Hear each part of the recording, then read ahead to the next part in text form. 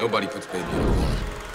Hello everybody and welcome back to another Foreign Film Friday. Even though today is not the first Friday of the month, which is what we usually do with this series, we've been a little bit off schedule the past few months, but never mind, we are all here now, which is what matters. Today we are reviewing a movie which has been on my mind for the past six months nearly since I saw it earlier this year at the Sydney Film Festival. It is the Polish period romance Cold War. Filmed in black and white in this 4 by 3 aspect ratio so it's not widescreen. Everything is very compressed into almost this square frame. The movie is written and directed by Polish director Paweł Pawlikowski. Sorry about that pronunciation. And his previous film Ida in 2015 took home the Oscar that year. So this is his follow-up film Cold War. And he made it and dedicated it to his parents as like a love letter to his parents. It is loosely loosely based on the events of their life. For me, part of the success of this love story, and let me tell you as well, you already know my personal preferences. I rarely like romance movies.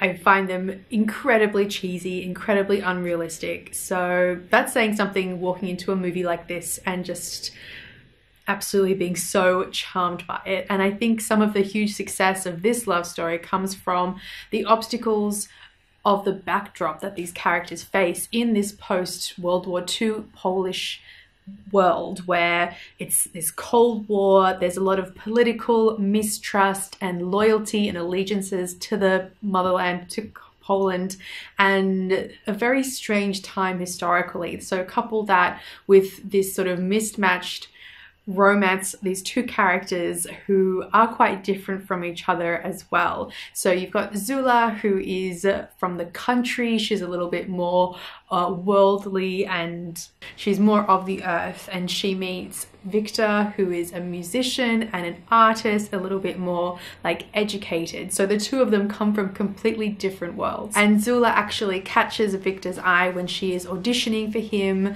uh, for this folk Polish folk ensemble that he is putting together, this troupe of singers and dancers. There is this real mastery of storytelling in this film, and I don't use that phrase lightly, trust me, but there's no hand holding, and I just really appreciate that the way that the scenes kind of chapter one after the other. There is no linking explanations about where we are and what we're doing apart from some uh, titles that come up to tell you the year and the place uh, and the city. So apart from that, the scenes, it's just the interesting scenes. There's no plot explanation. You just get like this butting up of interesting scenes and it's up to the audience to piece together what's happening in the interim time that we're not seeing because there is a lot of time progression in this film. And it is melodramatic in a way because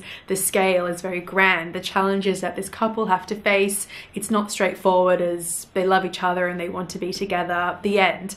It's they're facing um, a lot grander ideas of political allegiances or allegiances to their country and crossing borders and it's a very tumultuous time in the world. So there's a lot more to it as they come and go out of each other's lives. The musical journey in this film is completely its own arc as well. In the beginning, we hear a lot of folk music um, of the people, of the workers and the peasants of the country, and then things kind of evolve as time progresses, and we spend some time in Paris, and suddenly things turn into like a jazz sense. It's absolutely fascinating the way the music uh, complements the story, and all of the music I think. I'm pretty sure all of the music is diegetic music, which means there is no film score.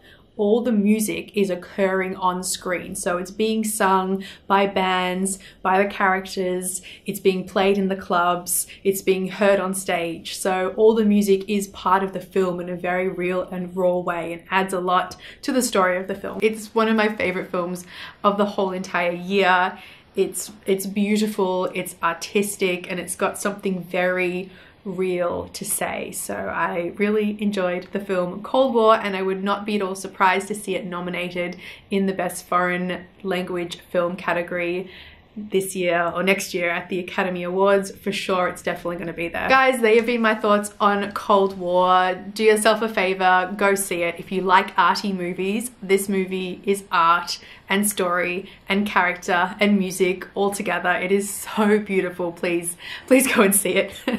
that is it from me today. Don't forget you can also uh, subscribe to my channel here and keep up to date with all things movies and TV. And that is it from me. Thanks for watching. I'll see you next time. Bye.